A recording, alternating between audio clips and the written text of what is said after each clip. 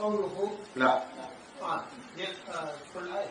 نعم. أنا أذكر ال- إيش قال المؤلف نعم. ولهذا كان من قرأ هذه الآية في ليلة لم يزل عليه من الله حافظ ولا يقربه شيطان حتى يصبح. نعم. وقوله و- وهو الآن آه، بدأ المؤلف رحمه الله تعالى بإيراد بقية الأدلة ولكن مرتب نعم هو الأول والآخر والظاهر والباطن. هذه الأسماء أحسن من يفسر هذه الأسماء النبي صلى الله عليه وسلم. قال أنت الأول فليس قبلك شيء والآخر فليس بعدك شيء إحاطة زمانك وأنت الظاهر فليس فوقك شيء والباطن فليس دونك شيء إحاطة مكانك الأول والآخر والظاهر والباطن. بعد هذا. وقوله وتوكل على الحي الذي لا يموت. لماذا؟ وتوكل على الحي الذي لا يموت. ولم تكن الآية مثلا وتوكل على العزيز الرحيم. لا شيء ما يفعله يسوي نعم صحيح. وتوكل أخذنا التوكل صدق الاعتماد على الله مع الثقة به الأخذ بالأسباب وتوكل على الحي. هذا فيه بطلان التوكل على غير الله.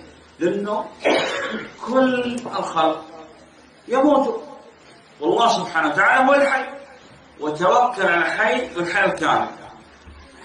وتوكل على الحي الذي لا يموت. وما عدا الله. مخلوق. المخلوق يموت. مفهوم؟ إذا كانت الآية وتوكل على الحي الذي لا يموت لبيان العلة في أنه لا يتوكل إلا على الله. لأن هذه المخلوقات تموت. وأخذنا التوكل وأنواع التوكل فيما تقدم في كتاب التوحيد ولله الحمد. نعم. وقوله وهو العليم الحكيم. وهو العليم بالظواهر والبواطن. والحكيم من الحكمة ومن الحكم. حكيم حكمة وحكم. أخذنا فيما تقدم أن القضاء والحكم والإرادة قسم إلى شرعي وكوني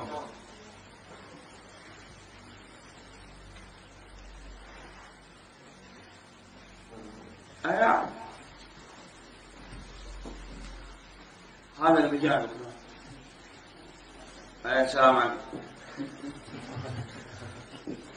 حكيم حكم وحكمة كل ما يقدر الله سبحانه وتعالى في هذا الكون. سواء كان قضاء شرعي أو كوني. لابد أن يكون لحكمة أرادها الله. نعم. وذكرنا الحكمة المضطردة التي ذكرتها أم المؤمنين عائشة في رضي الله عنها. في كل حكم من أحكام الشريعة. إذا الحكيم حكمة. حكمة شرعية وحكمة كونية. وكذلك حكم شرعي وحكم كوني. نعم. وقوله وهو الحكيم الخبير. الحكيم حكم وحكمة والخبير بالبواطن. وإذا كان يعلم البواطن باب أولى يعلم الظواهر. نعم. وقوله يعلم ما يلج في الأرض. يعلم. هذه الآيات أراد بها المؤلف عموم علم الله سبحانه وتعالى. ومفاتح الغيب خمسة. جمعت في قوله تعالى من يعرف أربع أسباب نعم إن الله عنده علم علم الساعة هذا مفتاح الدار, الدار الآخرة. ينزل الغيث ولم يقل المطر. اصبر يا أخي. هذا مفتاح حياة الأرض. لماذا قال وينزل الغيث ولم يقل المطر؟ لأن المطر في الغالب عذاب. قالوا هذا عارض ممطرة التي أمطرت مطر السوء. ليست السنة لا تمطر ولكن السنة تمطر ولا تنبت الأرض شيئا. وينزل الغيث ما معنى هذا؟ يعني ينزل ثم يحصل بهذا حياة للأرض. مفتاح حثر ونزل الغيب. ويعلم ما في الأرحام افتح الأجنة من النساء فقط. لا كل واحد سواء كانت المرأة ولا غير المرأة ويعلم ما في الأرحام.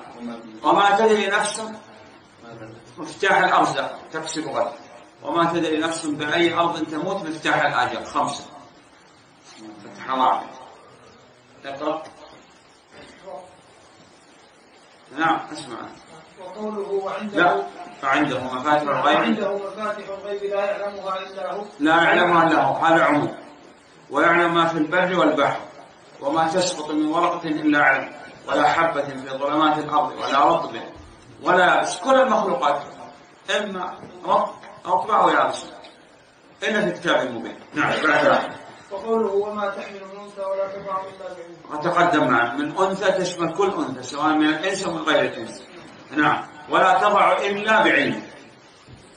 طيب لو جاء الإنسان اسمع وقال اليوم الطب الحديث تأتي المرأة عندما تبدأ بالحمل تدخل تصوير كذا ويقول ذكر أو أنثى وأسابيع وقت الولادة وغيره وغيره. ما رأيك؟ تقول هذا متشابه عند نصوص محكمة. ما عند النصوص المحكمة وما تحمل وما تحمل الأنثى ولا تضع إلا بعلم. ما تحمل كل أنثى. الله سبحانه وتعالى يعلم هذا قبل أن يوجد الحمل أصلا. صحيح. وكذلك الوضع هذا لا يعلم إلا الله سبحانه وتعالى نعم ولا إشكال. بعدها وهذا من الأسباب التي جعلها الله سبحانه وتعالى لنا. بس هذا بعد أن يخلق. نعم بعدها وقوله يعلم أن الله لا. قبل هذا الله الذي خلق سبع سماوات ومن الأرض مثلهن الله الذي خلق يعني هو الخالق سبع سماوات ومن الأرض مثلهن أراضين سبع يتنزل الأرض بينهم لماذا؟ هذه لماذا شر لماذا؟ لتعلموا أن الله على كل شيء قدير وأن الله قد أحاط بكل شيء علما من سألني البارحة قال دلالات ثلاثة. توقف الشيخ بن عثيمين رحمه الله يقول دلالات الاسم ثلاثة. دلالة مطابقة وتضمن والتزام. أي اسم من الأسماء؟ لابد له من ثلاث دلالات. مطابقة وتضمن والتزام هذا الآخر قال عندي سيارة لكزس 2013 طيب هذا يفهم ان عندي قطار؟ طائرة؟ قلم؟ لا. لابد الاسم ينطبق على المسمى. هذا يسمى دلالة مطابقة. سيارة يعني سيارة ليست بطائرة. صح؟ الحمد لله هذا الأول. الثاني تضمن سيارة. معنى هذا أنه لابد هذه السيارة تتضمن أمور. السيارة يكون فيها أبواب وزجاج وإطارات ومقاعد. مثلا صح؟ هذه دلالة تضمن. لابد أن السيارة تتضمن هذا. وإلا لم تصبح سيارة تصبح حديد. كون حديد صح؟ نعم. هذا الثالث. الثالث التزام. هذا الأخ يركب السيارة اللكسس وهذا يمشي بها يعجب بماذا؟ السيارة والتقنيات التي فيها وكذا يقول والله الشركة المصنعة لهذه السيارة شركة جيدة ممتازة هذا دلالة ماذا؟ التزام كيف عرف أن هناك أعز؟ لأنه لابد المخلوق لابد له من خالق أم خلقوا من غير شيء وهم الخالق. طيب. الله هو الخالق. صح. من أسماء الله الخالق. دلالة مطابقة. الاسم ينطبق على المسمى. خالق وهو خالق. والوصف ينطبق على الموصوف. صحيح؟ نعم وهو خالق سبحانه وتعالى. هذا دلالة مطابقة. تضمن كل اسم لابد يتضمن صفة. وإذا أثبتنا الاسم ولم نثبت الصفة كان الحاد لأسماء الله فكل اسم لابد يتضمن صفة. هذه دلالة تضمن. طيب. هناك أسماء أخرى لابد أن تدل على هذا الاسم دلالة التزام. كيف؟ هذا يعني قد يصعب عليكم الآن لكن مع دراسة الأسماء الحسنى والكتب التي شرحت الأسماء الحسنى يتضح أنا أعطيكم مثال. جاء رجل وأخذ قطعة من اللحم وضعها في إناء وترك هذه القطعة حتى خرج منها الدود فقال أنه خلق هذا الدود جاء إلى الآخر وقال طيب أنت خلقت هذا الدود؟ قال نعم قال كم عدده؟ قال لا أدري قال كم عدد الذكور والإناث؟ قال لا أدري قال متى يموت؟ قال لا أدري. قال ألا يعلم من خلق وهو اللطيف الخبير. لا يمكن يكون خالق إلا بعلم وقدرة. الله الذي خلق سبع سماوات ومن الأرض مثلهن. يتنزل الأمر بينهم لماذا؟ هذا من عندي شرح لتعلموا أن الله على كل شيء قدير. الخالق لابد يكون قادر. وأن الله قد أحاط بكل شيء علما. خالق لابد يكون عالم بما خلق أن يعلم من خلق وهو اللطيف الخبير. هذه دلالة التزام كيف تعرفها في الأسماء؟ تحتاج إلى الرجوع إلى الكتب التي شرحت الأسماء الحسنى. اليوم نريدك تتعلم أن دلالة الاسم كم؟ ثلاثة. مطابقة وتضمن والتزام. في كل الأسماء أسماء السيارات أسماء البيوت أسماء الناس أسماء كذا. مفهوم؟ نعم. فهمت الآن؟ أعرف بعد إن شاء الله. نعم. الله الذي خلق سبع سماوات والأرض مثلهن خلق وعلم وقدرة. القدرة هي صفة يتمكن بها الفاعل من الفعل دون عجز. والقوة هي صفة يتمكن بها الفاعل من الفعل دون ضعف. مفهوم؟ امشي.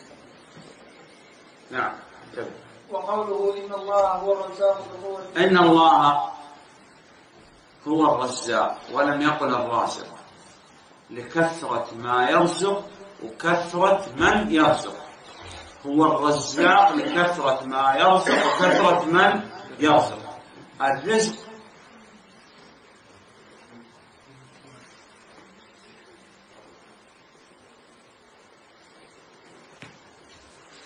كثرة من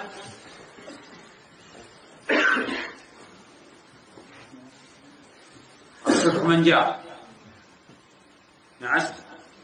خليك واضح لكثرة ما يرزق وكثرة من يرزق. الرزق ينقسم إلى قسمين. الرزق ينقسم إلى قسمين. من يعرف؟ ها؟ الرزق ينقسم إلى قسمين. اذكرهم رزق عام ورزق خاص. الرزق الخاص الإيمان والتقوى والعمل الصالح. كل ما به. من نعمة من تقوى وصلاح واستقامة وهداية فتلك مواهب الرب. هذا رزق خاص بالمؤمنين. الرزق العام ينقسم إلى قسمين حلال وحرام. حلال الغيث الولد الزوجة نعم. حرام. مخدرات. تنبت أحيانا صح ولا لا؟ إي نعم. وليبلونكم الله بشيء من الصيد تناله أيديكم ورماحكم ليعلم الله من يخاف بالغيب. رزق. رزق أو لا رزق محرم. مفهوم؟ مرة أخرى. تعيد. الرزق ينقسم إلى قسمين. رزق الخاص بالمؤمنين. وعام يشمل كل أحد. كل مخلوق. جن والإنس والحيوانات والدواب. حلال وحرام. خنزير رزق. لكن محرم. مفهوم؟ نعم اجلس إن الله هو الرزاق لكثرة ما يرزق وكثرة من يرزق ذو القوة قلنا هي صفة يتمكن يا أخوان. المعاني معلومة. نعرف معنى القوة معنى القدرة معنى الحياة معنى القيومية. هذا كله معلومة المعنى الكيفية علم عند الله والسؤال عنها. بدعة. مفهوم؟ نعرف معنى الاستواء معنى النزول معنى اليدين. ال- ال- القوة هي الصفة يتمكن من الفاعل. من الفعل دون ضعف والقدرة دون عجز لكن الكيفية سؤال عنها بدعة ولا ندري عنها لأن لم نرى الله ولم يخبرنا الصادق المصدوق عليه الصلاة والسلام وليس له مثيل. أو قبل نعم. بالقوة المتين. نعم. وقوله ليس كمثله شيء وهو السميع البصير. هذه الآية واضحة والله أعلم. هذه الآية في الغالب أنه لا يخلو لا يخلو منها كتاب في الأسماء والصفات. سبحان الله آية واحدة. وكم تجد فيها من؟ يعني فوائد وقواعد. استنبط الأئمة من هذه الآية رحمهم الله. يعني أقل ما يكون ثلاث قواعد